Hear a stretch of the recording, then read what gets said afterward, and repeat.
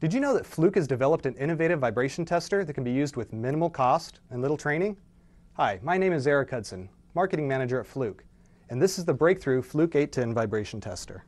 With the Fluke 810, vibration testing has never been easier. The 810 asks for basic machine information your maintenance technician will already know. Its onboard information feature even gives field tips for setting up and taking measurements, so you can hit the ground running. It supports single and triaxial accelerometer inputs has a laser tachometer input, and includes a mini USB connection for your PC.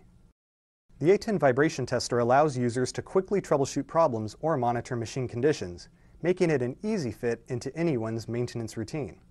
It's been optimized for everyday troubleshooting by focusing on the four most common mechanical faults, bearing condition, misalignment, unbalance, and looseness. With the press of a button, the 810 will identify the root cause of a vibration issue give you its location, and show you how severe the problem is.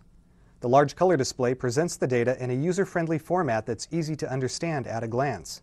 If you need additional analysis, the included viewer software lets you upload the machine diagnostics to your PC, making it easy to store, track, or export data. For minimal investment and maximum return, the Fluke 810 vibration tester is everything you need, all in one box. I'm Eric Hudson from Fluke, and thank you for watching.